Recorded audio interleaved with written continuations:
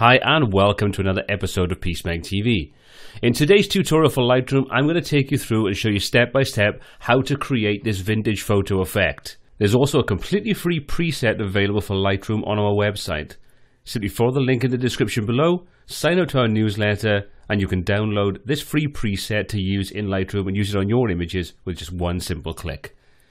So let's load up the original image and start creating this black and white photo effect.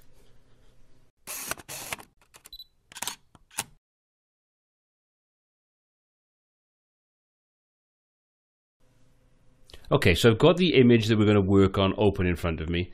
And what I would say when you're creating this sort of retro effect, it really does work well when you've got images that have strong texture in this, or strong stone textures. We would get this image, you've got the stone texture in the background, you've got a sort of rusty looking vehicle. All of these sort of contrasty edges really work quite well. So the first thing we want to do is come over to the basics panel in the develop module and because we're working with a black and white effect we want to switch this over to black and white mode so we get rid of any color out of there and then we're going to go through and we're just going to tweak the image to sort of flatten things down but also bring out some of that contrast and that texture that's in the image so to start off with let's reduce the exposure ever so slightly we'll bring that down to about a third of a stop is probably enough we're going to take our contrast and we're going to give that a boost so we can kind of get some nice strong definition between the tones in the image. So we're going to take that up by about plus 50. With our highlights, we're just going to bring those down ever so slightly. So we're going to bring those down by around about 10 or 12 should do fine. The shadows, we're just going to open those up a little bit. So we're going to increase those by about plus 15, start to flatten the image down a little bit. The whites, we're going to boost those so we can kind of blow out any highlights a little bit, which is kind of very reminiscent of the old cameras that you would have had back in the time with the effect that we're trying to create. So around plus 10, plus 12, something along those lines. And we're going to bring the blacks and we're going to drop those down because we want to sort of take those dark, dark areas and make them sort of not quite as dark. We want to make them like they're on a matte paper. So let's drop that down by about minus 20. And then the next thing we're going to do is just help the definition in this sort of texture areas, and we're going to just give it some extra clarity. We're going to take that up to about plus 20, plus 25, somewhere along those lines, just to give it some nice strong contrast between those edges. So there we go, there's our initial starting point. So we're now ready to move on and start adjusting the tone curve in the image where we can really get a little bit creative. So let's just switch over to the tone curve now, and let's open that up. Again, like we've done in the previous tutorials, we need to make sure that we're in the point curve mode. And if you're not, you just simply need to click on the little symbol in the right hand corner of the tone curve dialog box, and that'll switch you between the two different modes. When we're in point curve mode, we can now manually create points and edit the actual curve itself very, very quickly and easily. So what we're going to do is we're going to add a couple of extra points in this. We're going to add extra two points in there. Don't worry too much where these are at the moment because we're going to adjust the position of those and the curve but for now, what we're going to do is we want to take the shadow area, the real dark area, and we want to boost those up a little bit. So we're getting rid of some of the blackness. We're making them sort of encroach into the grey area. So we flatten the image down a little bit. So let's grab that, bring that up a little bit. And as you can see, when we do that, if I just before and after, you can see the blacks now start to move out of being black and we start to flatten the image and get a sort of a real matte effect to it. We're going to take the second point, which is sort of going into towards the mid-tones. We'll give that a little boost up there. I'm not going to go crazy with that. We'll take the second one, which is just a little bit towards the highlights. These are sort of in the grayer areas. And then right at the top where we've got the whites, we're going to bring those down a little bit so we can just take off the edge. So let's take a look at that now.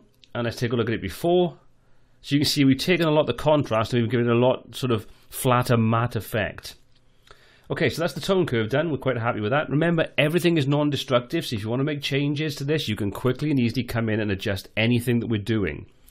So let's close the tone curve down, and the next thing we want to do is apply some split toning to this. So let's open that up. Now what we're going to do is we want to give it a sort of slight, slight sepia tint to it. We don't want to go crazy with it, and we can adjust, like I said, we can uh, control the amount of saturation in both the highlights and the shadows in this.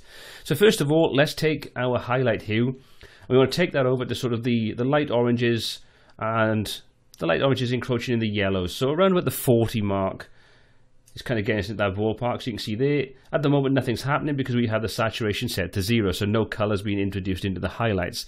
So let's take that up to around about 15 to 20, and you should start to see that we start to get that little sepia tint to our colors. So our highlights are now starting to get that sepia tint. I don't want to go crazy, so I'm going to keep this around about around 15 for now. Next thing, we're going to come in and we're going to add some to the shadows. We want to work at the same color area again, so we're just going to simply take this over to 40, the same as the one above. But we're going to take the saturation, sorry, the yeah, the saturation now. We're going to take that over. We're going to give this a bit bit more saturation for the shadows. Let's take that over. Let's give it around 20.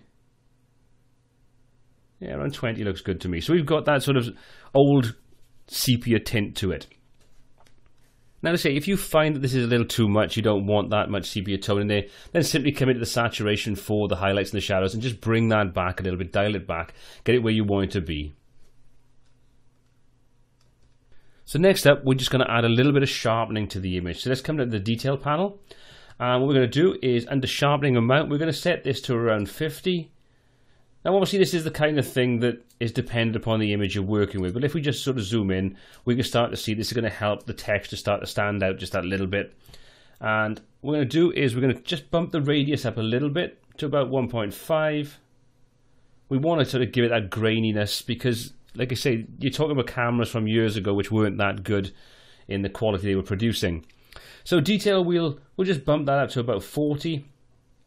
So it starts to pull out the finer detail, and then we'll take the masking up to about 50. So any of the sort of the large areas that are mostly color and not a lot of detail, they're not going to be sharpened, so we're not going to introduce any kind of artifacts into that. And you can see it sort of smooths out the the key sort of tones we've got in the image a little bit, so we soften those off. Okay, so that's the sharpening side of things done. And again, you can adjust this to taste if you want to. But finally, what we're going to do is we're going to add a vignette to this because, well, let's be honest about it. Most old photographs would have a vignette around them from the way that the lenses worked. So let's just come down to the effect panel. And what we're going to do in there is we're just going to take the amount. We're going to reduce that down and we're going to darken those edges just a little bit. Don't want to go crazy. Take a look at before and after. Let's actually just dial that back just a little bit. It's a bit too much, I think, on this image. Around 20 should do.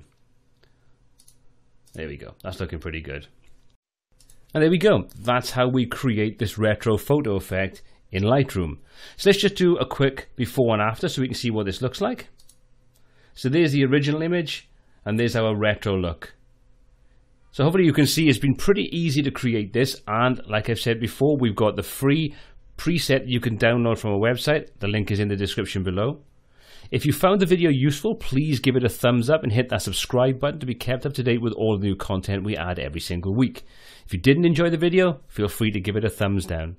If you have any comments, questions, or feedback on this video or anything else we cover on the channel, please pop those in the comment section below. We'd love to hear from you. We'll try to answer everything that we can. If you do enjoy the tutorials we put out on this channel, please consider popping over to Amazon where you can purchase the new ebook we released on the Kindle store.